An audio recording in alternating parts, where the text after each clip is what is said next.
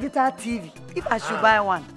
As I explained earlier, having a set-top box makes all the difference in receiving digital broadcasting signals.